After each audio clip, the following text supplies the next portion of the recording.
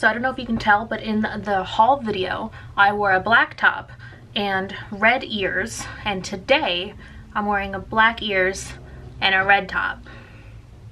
Symmetry.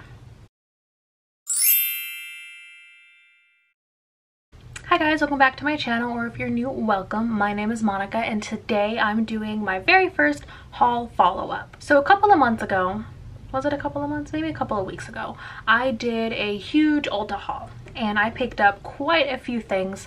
And so in this video, I'm going to go through, review all the products, see what I'm using, what I'm actually loving, and what I I'm not loving so much. So before we jump in, don't forget to give this video a big thumbs up if you want to see any more hauls and haul reviews in the future. And don't forget to hit subscribe and that little bell icon so you're notified whenever I put out a new video. So without further ado, let's jump into it. The first things that I went over in that haul were a foundation and a concealer. The first were the NARS, new, the new NARS foundation, the new NARS Radiant Creamy Concealer in the shade, it's called, actually called Punjab is the name of the shade. And then I got the Ulta In-House Concealer in Light Warm. I've worn the NARS foundation a couple of times. Right now it's not my best uh, color match at the moment. So I have been trying to mix it in with a couple of other foundations. I haven't just found that right match. Right now I have to use some of my lightest foundations to match me, so I've been using those more than I've been reaching for this. But I do still enjoy this foundation. I actually did a whole video on this foundation by itself. I'll go ahead and throw it up in the cards. The Ulta Concealer, I don't know if you can actually see because I pulled out the stopper but I'm actually almost out of the concealer. I had to pull the stopper out and I'm like scraping the edges. I love this stuff. I really want to go back when they're on sale, buy two, get one free. Ulta does a whole bunch of those throughout the year. But my local Ulta, I can never find these in stock. They're always out of stock. So I'm probably going to have to wait until I can buy them online. But I do love this concealer. I'm actually looking down and like watching the video as I'm doing this because I couldn't remember like all the products right off the top of my head. Next, I have the EcoTool sponges. So it was a pack of two sponges. I actually decluttered the smaller of the two. I didn't really like those, the, the size of that one. The bigger one, it's it's perfectly squishy, it's nice. I don't reach for it more so than my other sponges, but it still is a nice sponge. Definitely not better than the Real Techniques one, I'll tell you that. I also picked up another sponge, the Morphe Highlight and Contour Sponge. I actually really like that sponge. I'm not showing my sponges because they're all dirty. I need to wash them but that one I actually really like. It's perfectly squishy and it works, it expands a lot that I like, but it's not too big to get like under here. So I really like the Morphe sponge and I really think it was worth like the $7.99 that I paid for it because I still use that to this day. The next thing I got were some lashes. I picked up a multi-pack from Ardell, which I do like those. They're like my second favorite lashes right now. I have the case right here. I've been trying to space them out, so I've used the top two. Once I open up lashes, and if they don't have their own like special case, I put them in here. It's a cute little lash case. I got this off of the Hush app. But I wore these two and I wore them down until they almost like fell apart. Um, and I kept them in that case until then. So before I move on to these two, I'm going to try out a few more of the other lashes that I have in here. But I did really enjoy these. I have to trim them down just a little bit, but the Demi Wispies, they're the perfect length. Love them.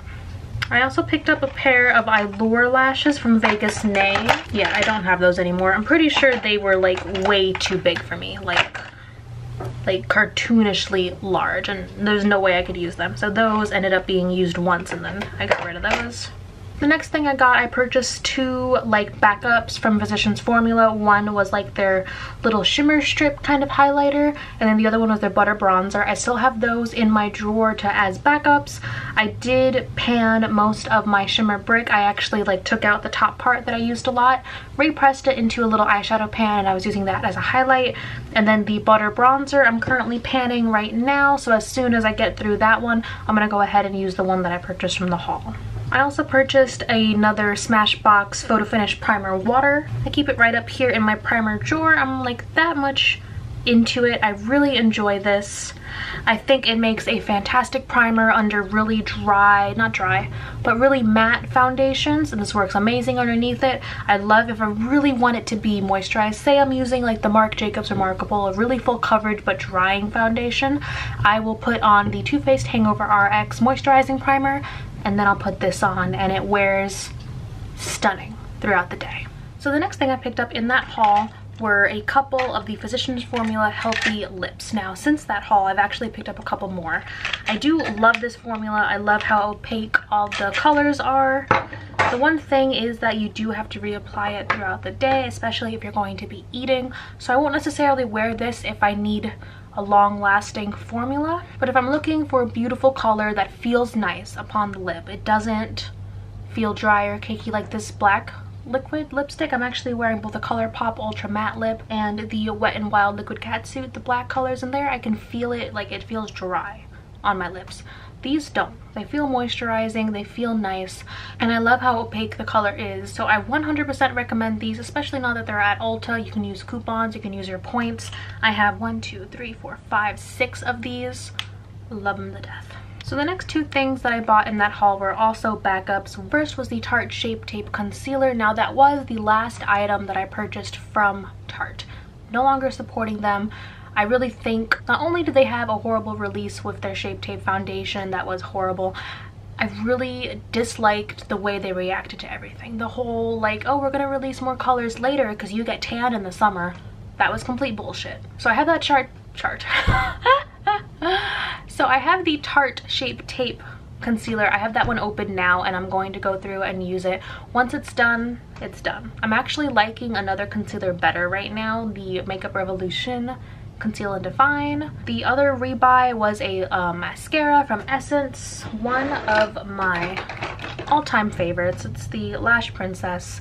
This is the False Lash Effect one. They have like a purple one, they have a blue one this is the best. I put this on, it doesn't flake throughout the day, it stays, my lashes are huge, like. So this is one of my favorite mascaras. You really can't beat it for the price.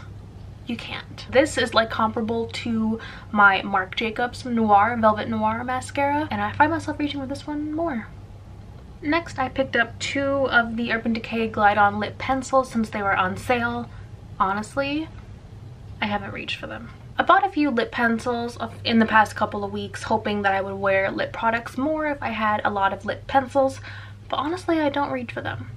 Nowadays when I'm reaching for a lip product it tends to be a liquid lip and I don't really wear lip liners with those so honestly I could have done without the two lip pencils even though I think I bought them because they were on sale like let's be honest. I picked up two of the heavy metal liners honestly I've only used one of them. I've been using a lot of the Stila Glitter and Glows that I actually mentioned later on in the video but the liners themselves I haven't really gotten into using those as much and I really need to bring those back out and use them a bit more. I'm actually wearing a glitter liner today but it's one from e.l.f. It's actually not too bad, just a little bit right there. I picked the e.l.f. one because it matched the rest of the look a little bit better because the two shades that I got, they're a little bit out there. It's not like it's a gold glitter. It's like bright silver and bright white. So I should have probably picked some better shades. Next, I talk all about the Stila Glitter and Glows. I have a whole drawer in my like acrylics dedicated to them. I use these all the time. I absolutely love them. I think if you are a lover of glitter and a lover of saving time, these are definitely worth it. I don't think you need this many of them, but you know, picking up one or two, it is a great way to get a look that makes it look like you tried and spent a lot of time on your makeup, but really all you have to do is throw a color in your transition and then throw these on on the lid and then that's it. And it looks beautiful and it stays all day. Like ah i love these so much. Definitely worth it. I picked up the cover fx custom enhancer drops I've honestly only used these once or twice. I should have picked up a lighter shade because this one is fairly close to my skin color right now. So if anything is too dark, mixing this in doesn't really lighten it up enough for me to use it. This is great if I have to darken a foundation. So I do have a couple of ones that are too light for me. Mixing this in works well, but the the problem that I have more often is a shade being too dark for me than it is being too light for me. So I probably should have picked up a lighter shade but I think in the summer this is going to do me really well. Next, I got the NYX Epic Ink like mousse liner in the pot.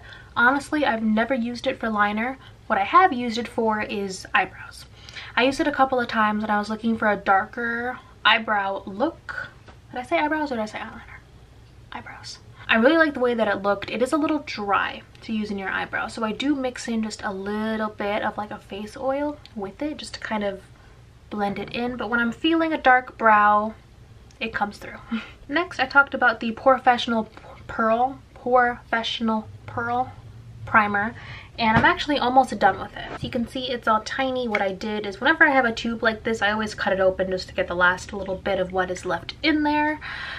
You know, it's okay. That's it. Like, it's just okay. Like, it's, it's okay at covering up your pores, filling them in.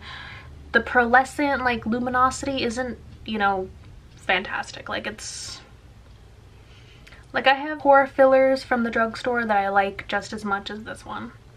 And actually the one that I have from the drugstore right now is almost the same price as like this little mini one, except it's like gigantic. So I got an Anastasia Dip Brow Pomade and that I've gotten a hell of a lot of use out of. I've really been working on my eyebrow routine. I think I've finally gotten it down to where like I really like it and it's a combination of dip brow, eyeshadow and a pencil. So I do a lot of things and I kind of mix everything together just to get like my perfect brow. If you guys want to see a brow routine just go ahead and let me know down below. It's not it's not going to be for everyone because I do have a lot of brow hair so that was my struggle it's like I have a lot of hair but it is sparse in some spots and I couldn't figure out how to fill those in while keeping the brow looking like not like I just filled in this one spot so if you guys want to see that, let me know down below. But this is what my dip brow, this is what my dip brow looks like. It's gotten quite a bit of use. So I am really enjoying this. Honestly, I think I should have gotten a darker shade. I have this shade dark brown. I probably should have gotten maybe like a soft black because I do find myself liking like a darker, dark brow. The next brow product that I talked about was a Stila pen I thought it was okay. I like it for filling in like the front part of my brow, but I found myself reaching for other products. So it wasn't one of my favorites, but it wasn't, you know, completely bad. It was just like a middle of the road, like okay. It fills in your brows, but I felt like it took me a lot longer than any of my other products because it was such a fine like brush tip and the color was so light. Like I think I got a, a too light of a color that I had to keep going over and over and over just to fill it in and look darker. So maybe if I had gotten a darker color, I would have liked it more. But I just don't think the medium was really for me. I actually also picked up the Carli Bybel Deluxe palette. Now this was a palette that I was looking at for quite some time. It was so hyped up. I'm glad that I picked it up, but honestly I don't find myself reaching for it that much. I made a couple of looks out of it. I really like the first two highlighters in there. Love them. But because it's such a big palette, I don't find myself reaching for it that much. I might do like a palette resurrection with it someday, but I just, I've been purchasing a few more palettes. I've been doing some more reviews, so it's kind of been stuck in my drawer.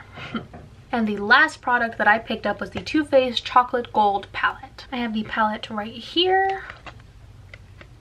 Ooh, reflective. It is a stunning palette. In all honesty, I've used it like twice. I really need to reach for it more. I've dipped into some of the gold shades. I dipped into the green. I'm not a fan of like the neutral shades over here. I have neutral palettes that I like a little bit better than the Too Faced formula. But I really want to get into the bright, bright Barbie pink and this silver right here. So I do need to pull this out a little bit more. I did buy it quite on a whim, and even so, I need to I need to get some more use out of this. Alright, so that was everything that I picked up in my Ulta haul and my thoughts on them. Let me know what you thought down below. I really like putting hauls in perspective like this because it's one thing to go out and be like, oh, I got this, I got this, I got this, and oh, I'm so excited. But it's another to actually get down, use all the products, see what works for you, see what doesn't, and really learn more about your spending and help it influence how you purchase in the future. So, so I like that I can now take my experience, take what I like, what I don't like, and use that to help me shop in the future so I'm not like wasting money. Because who, who wants to waste money? This is fun and we all love makeup, but we don't want to waste money. Thank you so much for watching. Don't forget to give this video a thumbs up if you liked it and subscribe using the little button down there. And I hope I'll see you in my next video. Bye!